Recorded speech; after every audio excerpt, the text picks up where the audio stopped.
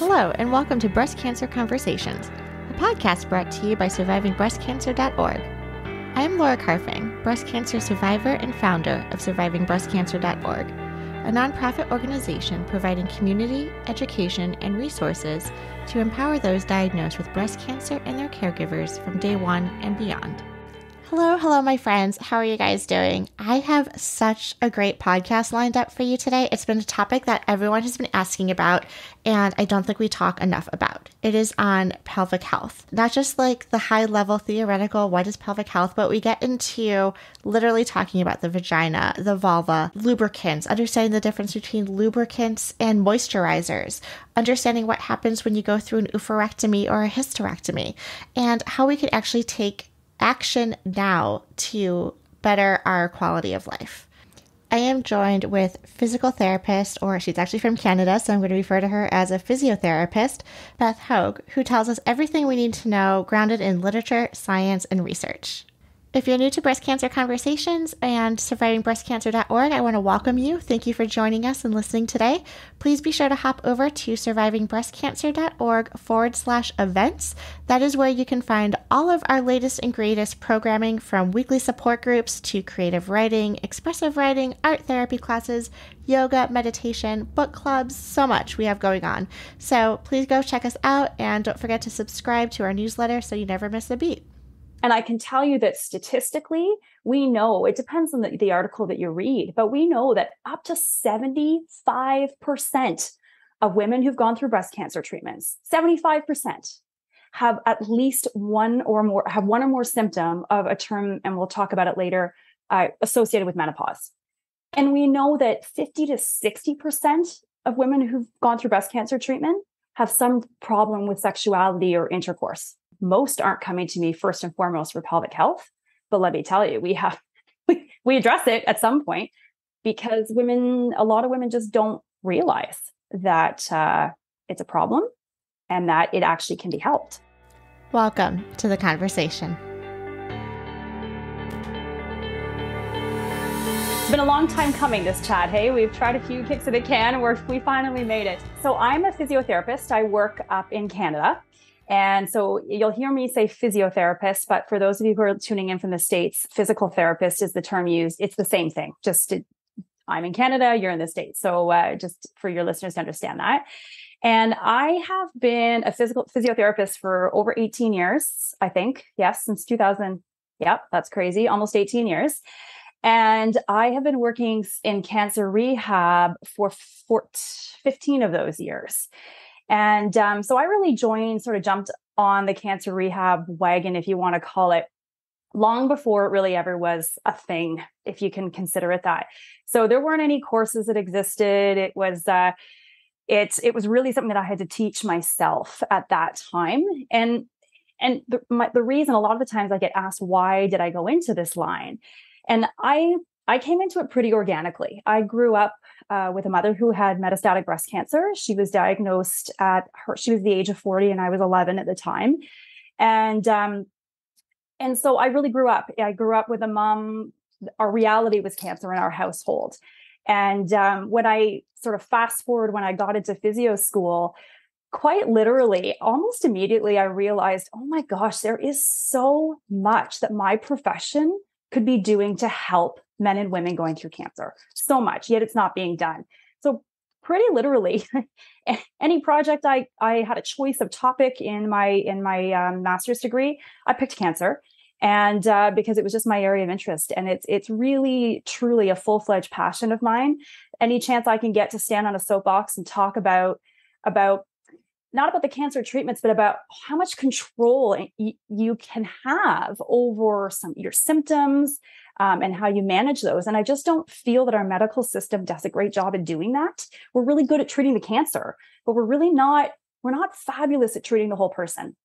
And that's really where my my passion comes in is uh, is working in that field, and pelvic health is part of it the more we talk about that, right, the interdisciplinary approach to treating the person, I think is helpful. I remember when I was going through treatment, and I still do. I I have like all these like doctors in my back pocket, right? So I have the oncologist, I have the um, radiologist, I have perhaps a nutritionist who's helping me with the diet. I'm having you know, my primary care who's helping to try coordinate everything. So there's all these silos and everyone is an expert in their given area. And you're absolutely right to treat the cancer.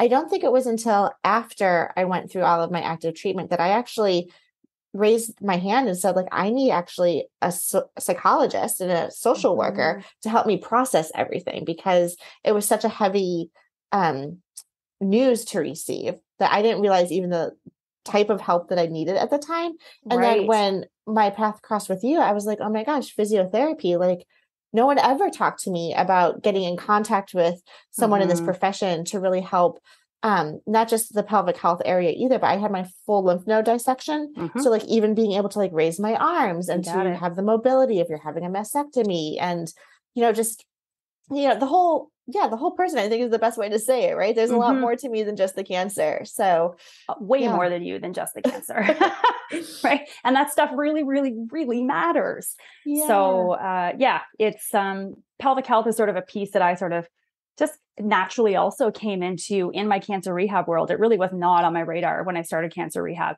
Really, to me, cancer rehab was getting people moving again, teaching them what's going on in their bodies. And then I mm-hmm. discovered old lymphedema, what I really need to get my, my understanding and certification in that.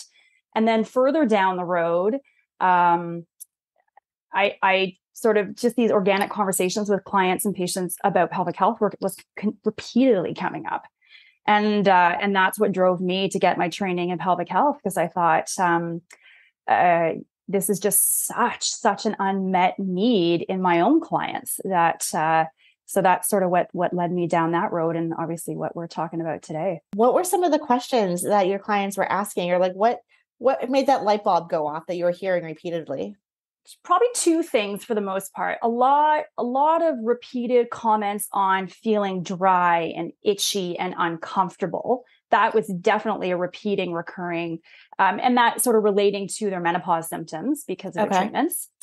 And then the other one was pain with intercourse. I, or just a total lack of desire sexual desire. Those would be the two biggies. There's a lot more obviously that can happen but those are really the two biggies. And and I used to refer my clients out to another pelvic health physio because I've got some great colleagues where I live and practice. And they're fabulous. But the, the resounding theme that I was getting from my clients in terms of I'd always say, how it had it go or how's it going? Was there was a bit of a discomfort because they were surrounded by young mums, new mums, babies. And for some women, that's really triggering because some women can no longer have children because of their treatments. And for other women, they just felt a little bit out of place. They didn't feel, yeah, they just felt out of place. Um, so with that sort of sensitivity in mind, that's what that's where my light bulb went off and went, okay, you know, I I think this is definitely training that I can get and I have. And and and these conversations I just sort of weave in from day one with my clients, even I'd say even most aren't coming to me first and foremost for pelvic health. But let me tell you, we have we, we address it at some point because women, a lot of women just don't realize that uh, it's a problem and that it actually can be helped. Yeah, I appreciate you creating this this openness and the safe space for the topic to even come up. So I think a lot of times too, no one wants to address it. They're embarrassed to talk about it. They don't want someone else to know. Like I think about my boyfriend, like, oh my gosh, every time I disclose this, I wonder what his friends are thinking, right? Like, you know, just like crazy things like that. And so it's just, okay, how can we, or it's so private, right? And so you don't want to ever think that something's wrong with you personally. So like, you know, it's not your fault. And so how do you create this space to um alleviate some of the pain and you know, kind of get, you know, the moisture back and kind of the elasticity and everything back. Um, so you can have a good quality of life. Absolutely. And it's what I tell women is it's a body part like every other part of our body. It's no different than an el- in, in terms of just concept. It's no different than an, an elbow or a shoulder. Yet societally, it's this sort of hush hush topic that we tend not to talk about or that there's a lot of embarrassment about. Um, so I think for me, the key piece is to make it a safe space. And these conversations help too, right? I think the more we talk about this, it just drives me nuts that we don't. The more we can talk about this, the more normal it becomes, right? And and I can tell you that statistically, we know it depends on the, the article that you read, but we know that up to 75% of women who've gone through breast cancer treatments, 75%, have at least one or more have one or more symptom of a term and we'll talk about it later uh, associated with menopause. 75% that's huge right? That's the majority of women. And we know that 50 to 60% of women who've gone through breast cancer treatment have some problem with sexuality or intercourse. So those are those are massive numbers right? Yet we're not talking about it enough so it's opportunities like this where we can really start to to break that conversation open and normalize it. When we're talking about pelvic health, what exactly are we talking about? Like what specific parts of the body are we discussing and what does it all entail?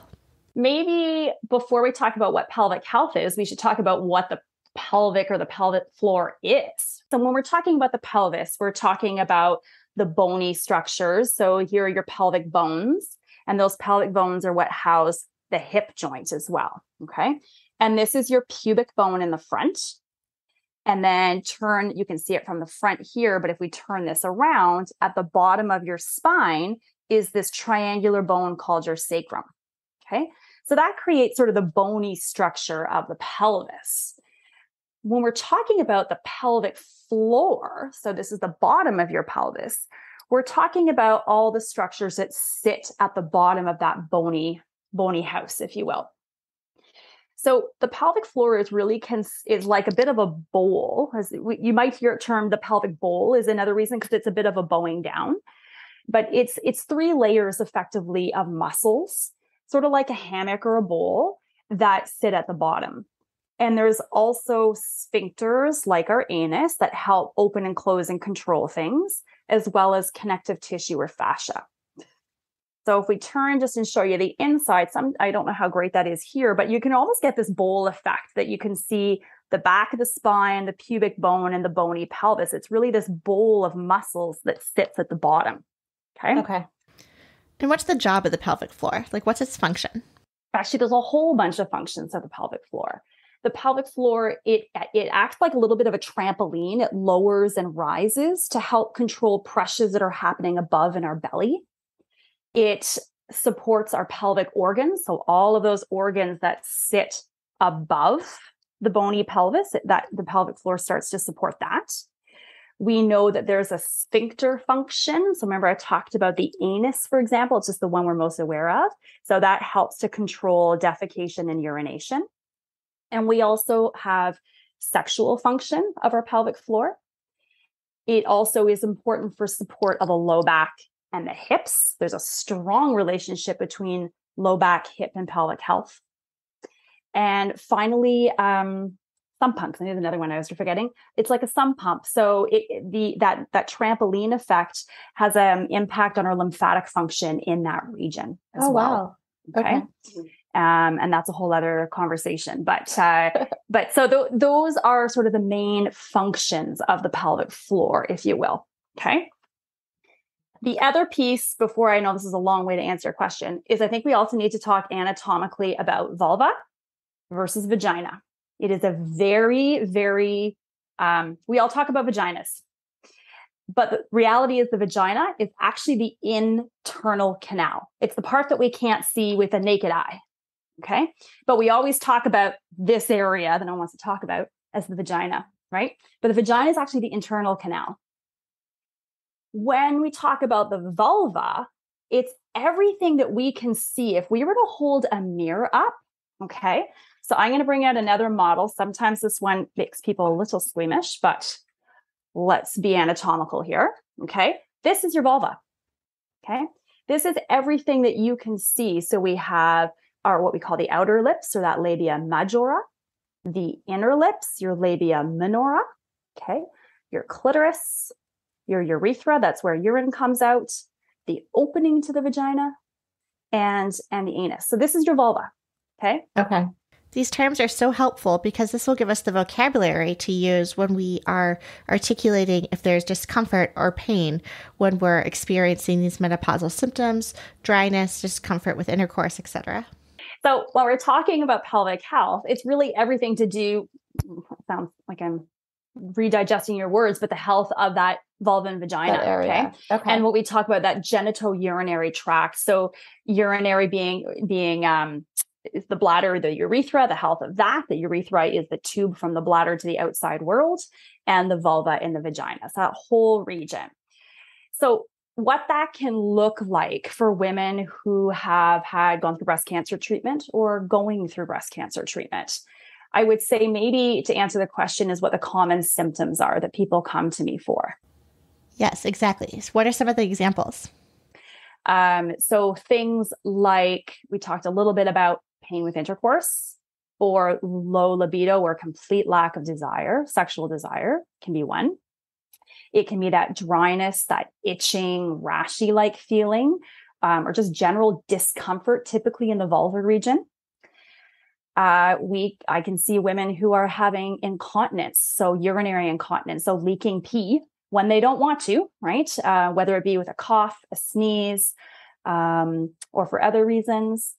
It can be um, an increased urinary urgency, which is a really common one. So needing to pee really badly all of a sudden, and sometimes feeling like you're not going to make it, you're not going to keep it together until you get to the toilet. Other reasons I might see someone with respect to pelvic health is bowel health, because that's part of our pelvic health as well. So problems with diarrhea, problems with constipation is a biggie during cancer treatments. And I'm sure a lot of people can relate to that. Um, those are, am I thinking about anything else? Those are probably the biggest symptoms relating to pelvic health that we talk about. You know, I've started to hear also in the community some treatment options include also going through like a hysterectomy or an oophorectomy and things like that. Does that directly or indirectly play into your pelvic health? Oh, for sure. For sure. Okay. Yes, absolutely. Um, that's a great question. Yeah. So hysterectomies can be done for a variety of reasons, right? There's different reasons why it might be suggested for for people who've had breast cancer. Common is oophorectomy, so removal of the ovaries, right? And a lot of the times people um, are on some sort of drug to stop the function of the ovaries until they can get that oophorectomy. That's probably the biggest driver. Um, some women might also choose for a variety of different reasons to have the uh, fallopian tubes and uterus removed as well. Okay. And there's different indicators for that. But um, all that to say, we can think about having the ovaries removed is is um, sort of like surgical menopause, if we want to consider it that way, even though likely you have our, this person has already been put into menopause with drugs. But truthfully, I find symptomatically, actually, some of my clients feel different when when it's the because the ovaries are removed versus the drugs, because the side effect of the drugs is no longer there because they're not taking them. So that's been an interesting thing that I've noticed in my practice. Oh, interesting. Because I am one of those people who are on the drugs to right. suppress the ovarian. Suppression piece. Um, yeah. And I've been thinking about do I want to go through the surgery? Do I not want to go through the surgery? So Yes, mm-hmm. food for thought. I might follow up with you on what some of those symptoms are. Yeah, and I've I've just seen it in a couple clients now, but yeah. it's definitely been enough of a pattern for me to take pause and go, "Oh, that's interesting." Um, so I think you know some of the things that we blame on on drug related menopause or drug induced menopause actually might be a bit of a blend of hmm. of sort of chemically induced menopause, but also the side effects of drug. Ah, okay. I can't back that up with science, but I've it's it's definitely I've seen it enough that it makes me kind of think.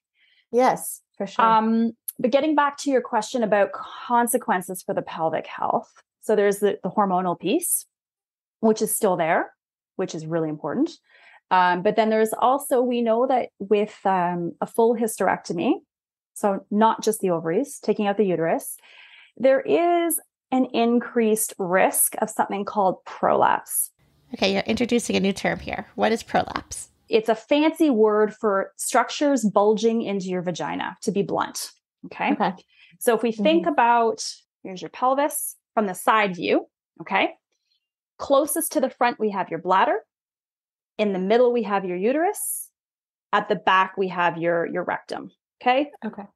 So if if when the uterus is removed, because the uterus is attached to the top of your vagina, so we we are some women are at an increased risk of getting bulging of the bladder into the vagina or the rectum into the vagina or the top what's called um, well the cervix or it depends on if the cervix is still there but we'll just say the top of the vagina bulging down So there is an increased risk. Um, doesn't mean you're going to get it. So I don't want you to panic, and that should not be a reason not to have hysterectomy if you need it for for medical reasons.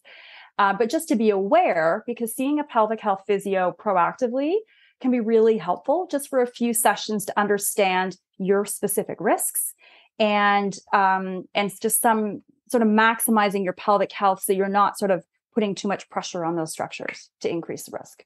I really appreciate you just like sharing because I think sometimes too, and even proactively, right? Like when you're in the midst of needing to make some of these medical decisions, you don't have the time to process everything or the longer term implications of some of the procedures you're going through. I know I certainly haven't. And I was like, oh, I wish I had known. And then I'm like, well, I'm sure they told me. It just went in one ear and out the other. And so, you know, for us to start talking about, oh, I had this procedure done. Um, here are some of the things that I could have proactively done to strengthen those muscles or to even know and weigh the pros and cons. So I appreciate that.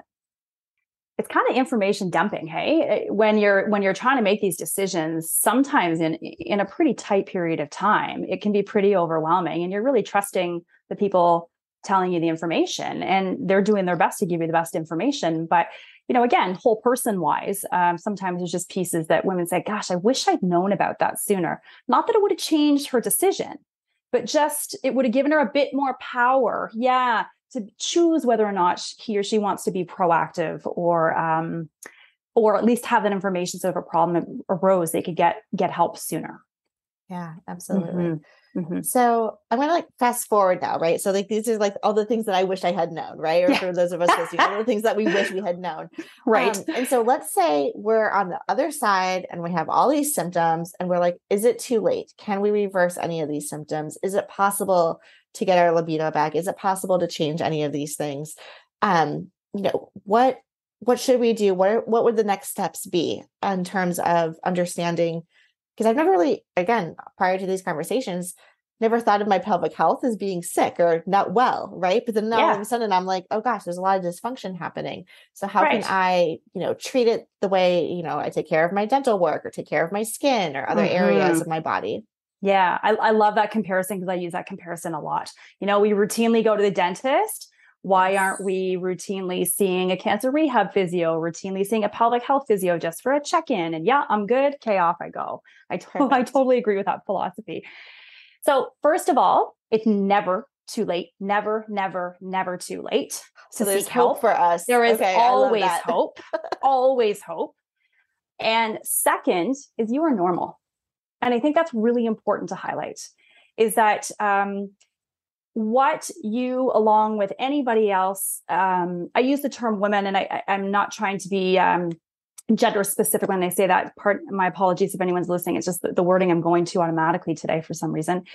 But as you know any woman who's gone through breast cancer treatment this is a really high likelihood that this is going to happen if if you've had an, a, a hormone dependent cancer okay a breast cancer it's it's it's likely going to happen and we know that if you are on an aromatase inhibitor, uh, what's the stat? It is, I think you are nearly at double the risk, double the risk of developing some of these symptoms as compared to somebody the same age as you who hasn't isn't on aromatase inhibitor. So, so this is normal, right? This is normal for women who are going through breast cancer treatment. Normal. In terms of what you do, um, I think there's things that you can do completely on your own and then getting the help of a pelvic floor physio can be really helpful as well. Okay. I often suggest, even to start, um, the basic things that we can do because we know vaginal dryness, vulvovaginal dryness is really common, really, really common. So, basic self care, stop using soap on your vulva if you're using it. Soap is extremely drying to the vulva. And uh, if you're already dry, you can imagine what that's doing to those tissues, right? So if anybody's listening to this and using soap, please stop. Just use water. Okay. Um, water in your fingers. You don't need to friction or rub, just a little bit of water. Give your vulva a rinse. Good to go. Okay. The other one is if you're using douches in the vagina, please stop. There's lots of harsh, harsh, rough chemicals in those things. Our our vag, our we, we talk about a vagina like a self-cleaving oven. So we don't need douches. It's um, a beautifully created industry, but it's completely unnecessary. Uh, and in this situation, it can be really irritating. So, right off the bat, if you're using soaps or douches, stop. That will help right off the bat with some of these this dryness, these issues. Other things, the things we can do like right away, like right away, control. right? Mm-hmm. So hopefully, if anyone's listening, because I'll be on, I will be honest. I'll say this on on a podcast that's going God knows where, but before I had my pelvic health training, I used soap in my vulva. I didn't know. Oh, yeah. Yeah. Full on. Absolutely. And then I stopped. And after a couple weeks, I went, oh, wow, I didn't even know that was a little bit dry. Right. Right. So um, right. Th- these are just simple things that aren't necessarily common knowledge to everybody. Mm-hmm. Other things are um, they're general comments, but they're backed in the literature about trying as much as you can to stay physically active because that also helps with blood supply to our body, including our pelvic floor. Eating a well balanced diet. Um, so I won't get into that. That's a whole other conversation. But, and then as well, smoking. Smoking has been linked um, to vulvovaginal atrophy, which is sort of thinning of those tissues. So if you are a smoker, as best you can, I know it's not easy to say that, but uh, or to do it, I should say, but stopping or at least decreasing uh, cigarette smoking definitely yeah. can can make a big difference to those tissues. Interesting. Mm-hmm. Yeah. yeah. I remember reading that study and going, "Oh, that's that is interesting, right?" So it's not just this general stop smoking, but there actually is some evidence to back that up. Mm-hmm. Other things you can do without seeing anybody, though I'm actually going to put the caveat in if you have these symptoms, I think it's important to see somebody to be assessed because there's other reasons dryness can happen, which are not as um, innocent, shall we say. So I sure. think it's important just to, be, to have an exam either by your family doctor or if you're fortunate to have a pelvic health physio. Nonetheless, um, moisturizers. Just like we moisturize our skin, external skin, our vulva and our vagina are no different. So there are over the counter products. You do not need a prescription. They do not have estrogen in them that can really make an enormous and, and I, I can't, I can't stress this enough an enormous difference to the health of those tissues to the moisture of those tissues and how they feel okay so i have um, a, a, list on my website. I, I, know we talked about this. I'll give you the link so you can post it with with uh, however way this is going to be delivered, um, because just like everything, they're not all made the same, right? And some of these moisturizers have products in them that I wouldn't want to put in my body, especially if I have had a history of cancer. So there are certain products that we do sort of recommend staying away from. Some of the evidence is low level, but I am uh, meaning that it's we don't know 100% for sure, but we've got some suspicions. And my opinion is if we have some suspicions and there are other products that don't have those ingredients, why why why would we use them? Doesn't make sense to me, right? So the problem is it's really not always easy to get the information to make an educated and informed choice. So I got really sick of writing them down for clients on sticky notes. So I finally, I finally made this handout and Yay! put links oh, and put links awesome. to where people can mm-hmm. buy them um so that so that you can go at it. I'm not saying these are the only ones because they're not. There are other ones out there. And us versus canada there's there's some different ones out there for sure. But nonetheless this is just a great place to start. The yeah a starting point into like understanding like what is even out there. I know when i'm searching for something i'm very cost sensitive. So like mm-hmm, i could just sure. purchase like the cheapest one not knowing that there's like full of estrogen or other products that could be really toxic and harmful for me. So right. at least kind of understanding where to begin and that there's a you've already done some vetting for us which i appreciate mm-hmm, so mm-hmm. we have mm-hmm. that starting platform absolutely yeah so the, you, what you're going to notice if you if you pull this handout is that all the vulvovaginal um, moisturizers that i recommend have an ingredient called hyaluronic acid ha okay and what hyaluronic acid has been known to do shown to do is to add moisture and keep it there as long as possible to the tissues. And that's what we want. That's what we want to add moisture to those tissues. Okay. The other thing that we know is um, that some other ingredients that are in some of these moisturizers actually can do the opposite effect and kind of pull, without getting complicated, pull tissues, pull stuff out. So hyaluronic acid, it really is a bit of the secret sauce for your for these moisturizers.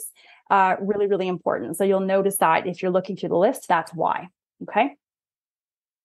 And and what we know from the research from the North American Menopause Society, from ACOG, oh, I always get there, the um, American College of Obstetrics and Gynecologists. Um, so those two resources, the recommendations are for anybody who has a history of breast cancer, the first line of treatment for vulvovaginal dryness is hyaluronic acid based moisturizers. Okay. So that's where it's coming from. Wonderful. Okay. If that's not enough, um, and that's a whole other conversation about what that means, but we'll just keep it simple for now. If that's not enough, then the conversation around topical estrogen or to- uh, comes into play. So a cream, not a patch or an oral medication. Um, it it is it has been shown by uh, I think by NAMS North American Menopause Society that for some women it is safe. It is safe to take. Okay, and it's not a first line, but if hyaluronic acid isn't enough to alleviate whatever the symptoms are, then the conversation around for you as an individual is vaginal and vulvovaginal estrogen a safe option for you? And for a lot of women, it is because there is very limited absorption of the hormones into our bloodstream. I'm going to leave it. I know there's going to be people who are going to disagree with me on this. It's, um, but this is backed by science. And I bring this up because I don't think we should all be knocking on our oncologists and gynecologists door after breast cancer saying, I want vaginal estrogen. But I think it's important to understand that this sh- is not absolutely off the table because you've had breast cancer.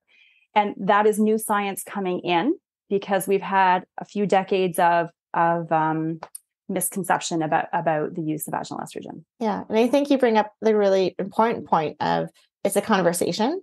Mm-hmm. It's, you know, kind of figuring out it's those pros and cons. I know people who have stopped taking um, aromatase inhibitors and it was a conversation because the side effects were too yeah. too hard and impeding with their their quality of life. And so I think there's so many factors, um, and also your own personal comfort level of absolutely, you know, what what are you going to feel most comfortable in when you wake up every morning, knowing that you are making the best decision for yourself. Mm-hmm. To me, that's like my barometer, right? Like if I have gone through the pros and cons and everything and have that. I think as women, we have our superpower of that gut feeling. Totally. And agree. we know that we're making the right decision, then yeah. that's all that matters. And that's what's really important to us. And Absolutely. then, yeah. So I think that's wonderful.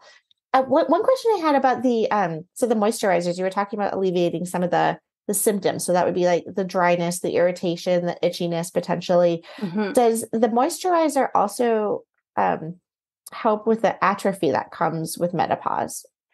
Uh, to a small extent, yes. Okay. Um, I think maybe quickly backing up, a term I didn't actually throw out at the beginning with the alphabet soup was the term genitourinary syndrome of menopause, GSM for short. Okay. And what that is referring to is all of these changes in the vulva, the vagina, and the genitourinary tract. Okay. So that that whole package and internally the urethra. Okay. Um, I lost your question again. Isn't that no. funny? Well, I just think it's so interesting because, you know, when I was going through, and you know, I use a lot of I statements because I can't be so general about everyone, but when I was going through all of this, um, and I lost my estrogen because I was triple positive in my breast cancer diagnosis, I thought I was just getting older. But like literally, mm. because you're thrown into menopause, like your skin, like your neck skin, your Absolutely. like everything just kind of gets older and mm-hmm. dry. And mm-hmm. like, I was like, am I aging at warp speed? But I kind of am because of the chemical reaction, right? You and so it. I think about that also in terms of like, okay, is it too late to reverse some of these side effects, or how can I help at least slow them down so that you know I I don't get old too quickly. well, and and maybe I, am digressing a little bit, but to, to jump off of that is estrogen has an enormous, I think it's like, I think it's somewhere around over 50 functions in our body, 50, like a huge number of functions, right? Brain health, heart health, bone health, pelvic health, skin health. That like, there's so many things that estrogen does to keep our body healthy. So when you remove that, at the flick of a switch, that's going to have consequences, right? And I mean, we're just talking about the pelvic consequences today. And I know we're, we're I'm kind of going all over the place in this conversation, so hopefully it's not no, no, no. This is, I mean, this is but diving into everything. That's yeah. what we do here. so when we when we circle back to that that concept of GSM, we're not just talking about the vulva and the vagina because I talked about some of those urinary symptoms, right? Yes. And actually, a symptom I didn't mention is repeated urinary tract infections. Okay, Big. so that so more more than two to three a year, like it's it's really common, right?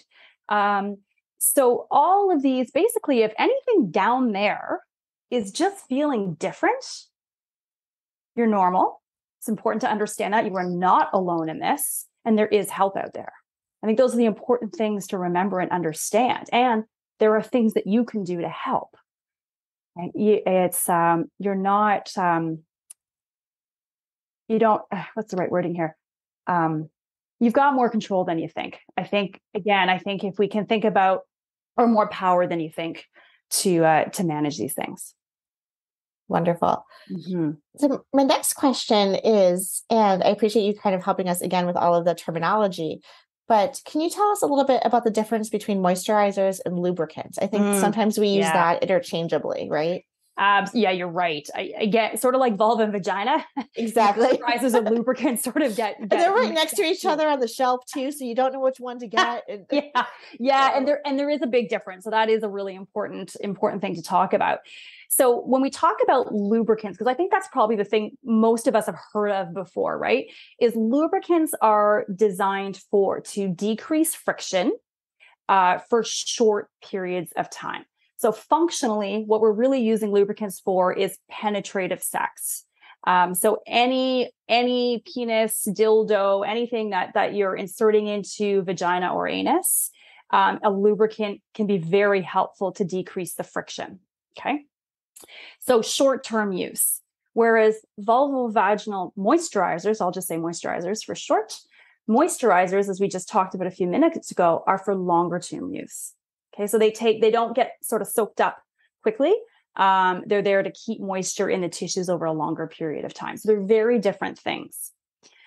Um, I have had quite a few women come into my clinic saying they've used a lubricant as a moisturizer and it doesn't work, right? Like, it, no, it didn't work. And so when we dive into, we're like, ah, that's because that's a lubricant. Okay, that makes sense, right? When we sort of figure out what they've actually been using. Good intentions just didn't understand the difference, right? So that's the difference.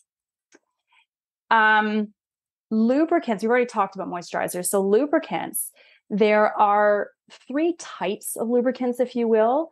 We have water based types of lubricants, oil based lubricants, and silicone based lubricants. This was going to be my next question. Ah, yes. I jumped into it already. no, I love it. That's perfect. I was like, okay, help me break this down because again, I'm just picturing myself like looking at the pharmacy line of like I don't even know where to begin. And then I get embarrassed yeah. because like someone walks behind me and I'm like, oh God, they know. And so right. then I run away and don't even buy anything. So that's what happens in my situation. Fair. And I feel your pain. Been there.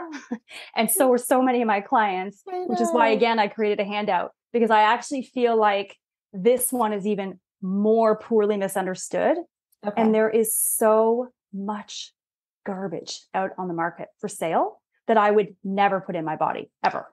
So um, this to me is one of those big passion projects of mine as well is or surrounding pelvic health. Is so let me back up. So we've got those three types. Um, water based or no let me back that up silicone and oil based the pros of them they tend to last they last longer. So if you're the type of person that your intercourse or playing with whatever sex toy is going to be longer then those people may prefer a silicone or or an oil based i the downfall to them they can stain your sheets. So that's a reality. Um, and they're not safe to use with um, oil based isn't safe to use with condoms, with dildos, sex toys, they can start to break it down. Okay. So, and I do find clinically that my caseload, remember, I'm working with people who have genital urinary syndrome of menopause, right? I'm not working with, with, um, I'm working with low estrogen women, shall we say. I find that that group, there's more women that tend to get their tissues get irritated. I just find that clinically. So I tend to recommend water based. Okay. Uh, and and water based um, doesn't last as long, but it doesn't stain your sheets. You can use it with condom. You can use it with toys. Um, here's the big but, and this is my soapbox that I'm getting on here. I'm getting ready. All right. Is there's something called, I don't want to get too complicated, but there's something called osmolality. Okay. And what that has to do with keeping it simple is the ability to, I always get it backwards and I describe it. So I might get it backwards, but it has to do with how, whether the product pulls moisture out of tissues or delivers moisture to the tissues. Okay. And without getting complicated, there's a threshold that the World Health Organization has set from a safety perspective. Okay. And what they have said is ideally, get ready for this. So, ideally, any lubricant osmolality should not exceed 380 milliosmoles per kilogram. We'll just say 380. Okay. But there are so few products on the market that meet that criteria that it's been increased. The recommendation of acceptable is nothing more than 1200. Oh my gosh. Yeah. It's driving me crazy, right? Now, not not what WHO has said, like the World Health Organization. No, no, it. But it's That's like, not wait. the piece that drives me crazy. What drives me crazy, there are so few products on Yes. the market that I know that's like that- backwards. It's like go out and create your product. Where's my product manager and my like Right. entrepreneurs out there solving problems? no, come on, and they exist. They exist, right? Yeah. But but they're not. Those aren't the ones that line the shelves, right. right? They're very. You have to search hard, and to go on a box, it doesn't give you what the osmolality is on a box. It's not there. So you have to just go digging through websites, and I even had to email a few companies to say, "What is your osmolality?" Or what is your pH level? Because that's the other piece we have to consider with lubricants. Our vagina has a normal pH level, right? So that acidity base, go back to chemistry in high school, right? We have a normal acidity level. And um, so it's different before menopause and after menopause. So we'll say sort of postmenopausal women, it sits somewhere around 5.3 before menopause it's sort of 3.6 to 4.5 just i know some people probably listening to this probably like numbers so i want to give you those numbers.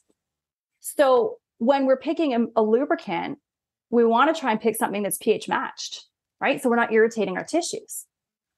Um, and again a lot of these lubricants don't fit in those ranges right there's more that do than osmolality but they don't and those numbers also aren't on our boxes at, at the stores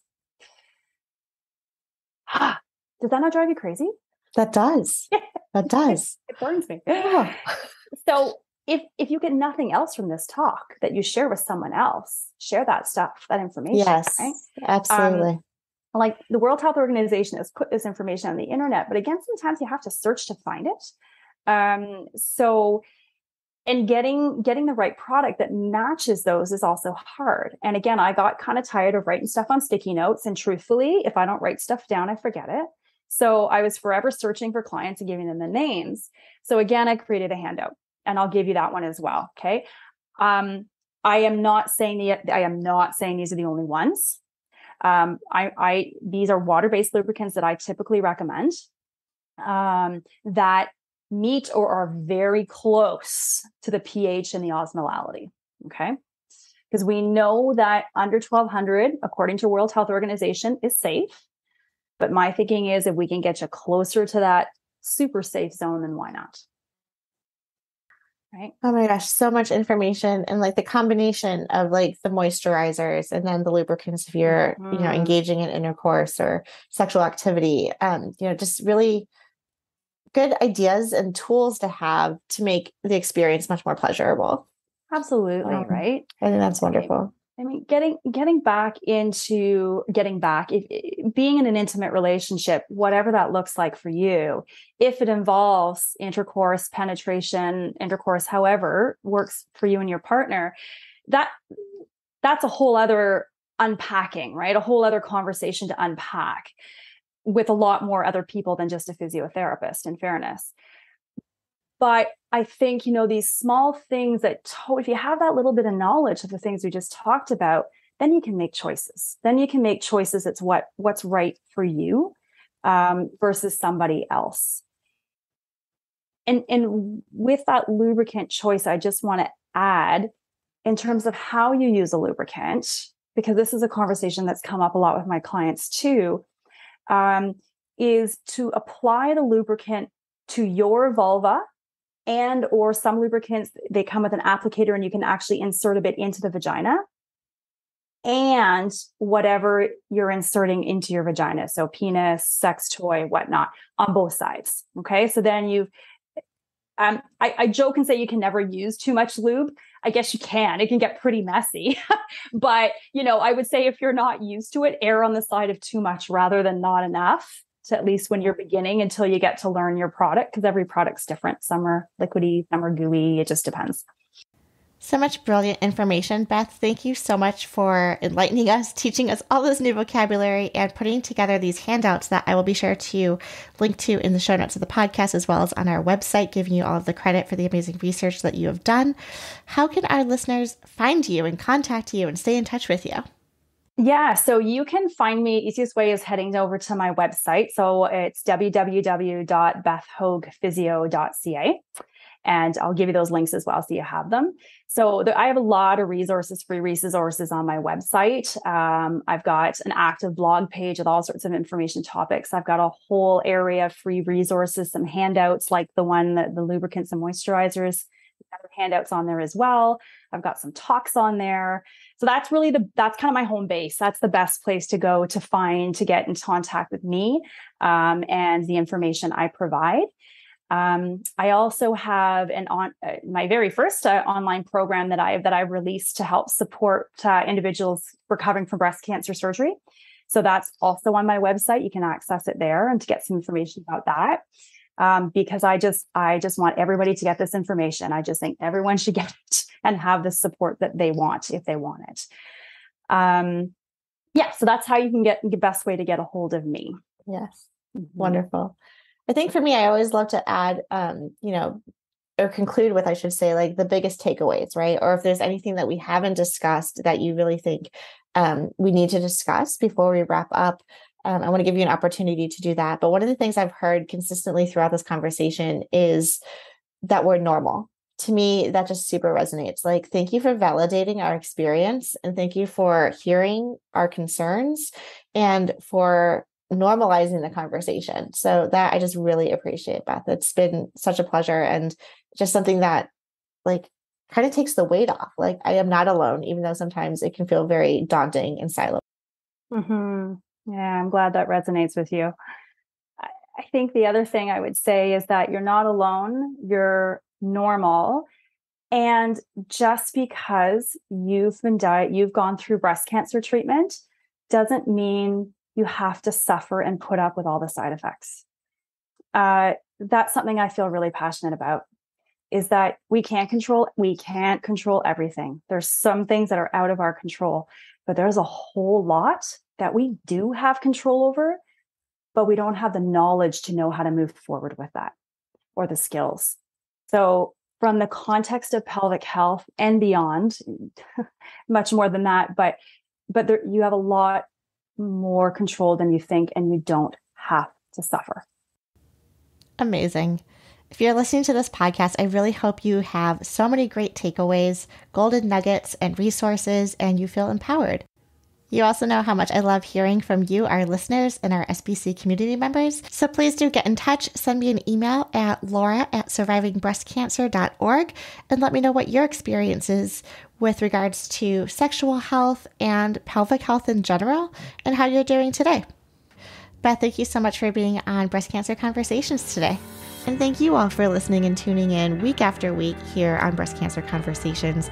Please be mindful that all of our content and information is for educational purposes only and is never a substitute for medical advice. If you want to hang out, again, please check out survivingbreastcancer.org forward slash events, where you can RSVP to our Thursday Night Thrivers weekly meetup, our Movement Monday classes, workshops, seminars, and so much more. We can also continue the dialogue online via social media. Our Instagram handle is survivingbreastcancer.org, all one word, and you can follow us on Twitter at SBC underscore ORG. Until next time, keep on thriving.